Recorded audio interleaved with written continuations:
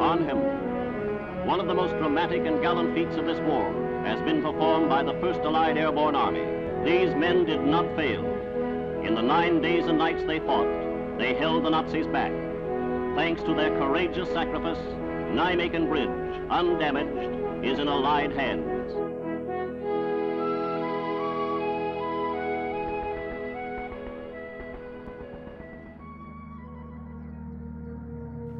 First thought to me was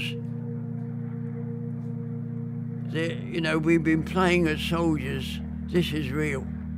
You know, because you're fighting to stay alive. That's the. And there's no going back. Got to get down there. The only time it starts sinking in when you see how many planes are.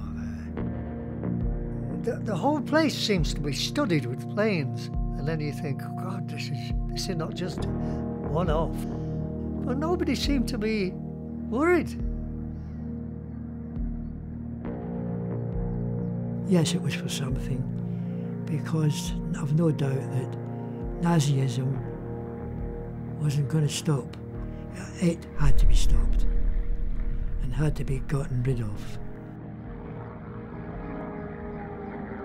Do you know one of the things that stuck in my mind? I wasn't married, I had no children, I had nobody to lose. The, the danger was there, the idea of throwing your body out of an, an, aircraft at eight, 1,000 to 800 feet wouldn't appeal to most people.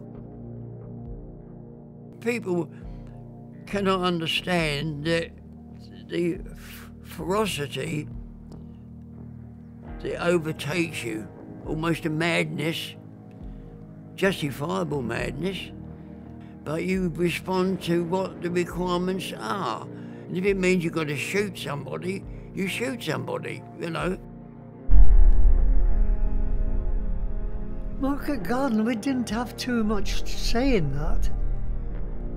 We'd heard rumours before we left Britain that there were Germans and tanks in the woods round Ginkel Heath, all tucked in.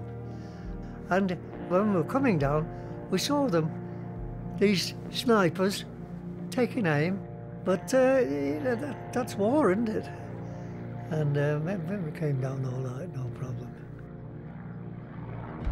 The thing that does go through your mind is you hope the chute opens. I mean, that's that's a natural thing. And I was fortunate enough that for me it always did. I know it sounds ridiculous. When I was captured at the time, I was absolutely furious. You know, immediately plans were forming. When I heard we were going to Paris, I thought, well, that's it. If you can't escape there, you know, you're never going to make it. I knew I'd been hit as I came down. I felt this poof. And when we got down, I wasn't allowed to go to the hospital in Arnhem because the Germans had taken that over. I had to go to a temporary hospital in Oosterbeek, which was 12 miles away. And I was there for about five days until the Germans decided to take us into Germany as prisoners.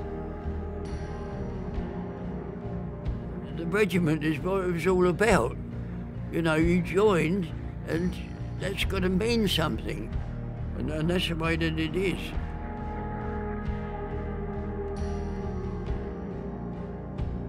I, I'm proud of it. I'm, I know I was pushed into it. I didn't volunteer, but I'm proud of having done something about it. It's part of our history, isn't it? That uh, nothing came to us on a plate. We had to do something about it.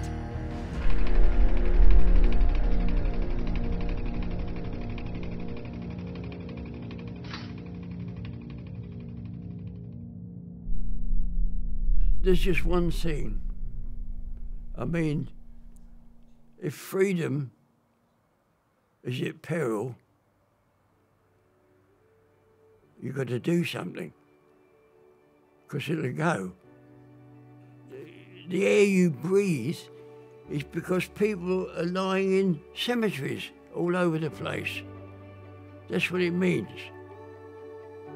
You know, you, don't have it as a God given right, you've got to fight for it. And I would, yes, I would.